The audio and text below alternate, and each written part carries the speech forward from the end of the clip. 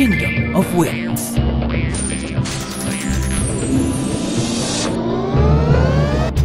Most exciting.